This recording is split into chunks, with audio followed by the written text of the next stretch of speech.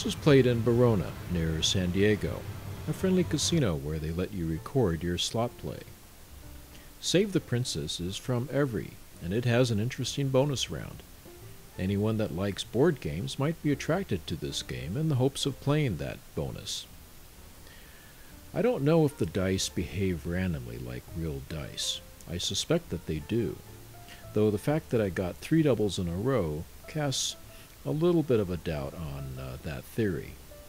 Nonetheless, I like to think that the dice would behave like real dice, and I don't see any reason why not. And if so, that makes the bonus game that much more interesting.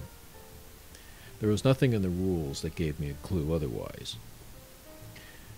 In fact, I was so interested in this game, I wanted to try it another time after the initial two sessions, where it came out $27 a head.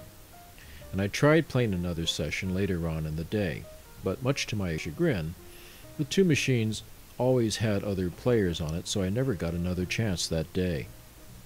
I hope you enjoyed this video. Please like and subscribe. Leave comments and questions, and thank you for watching.